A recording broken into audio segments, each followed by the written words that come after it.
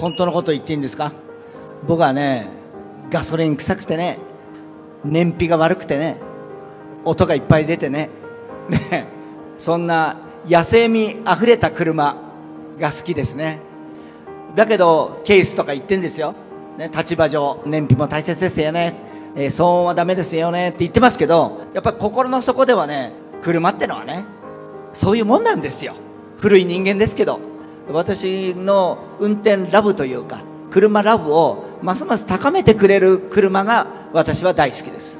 どこのブランドであれそういう車であったら喜んで乗っています。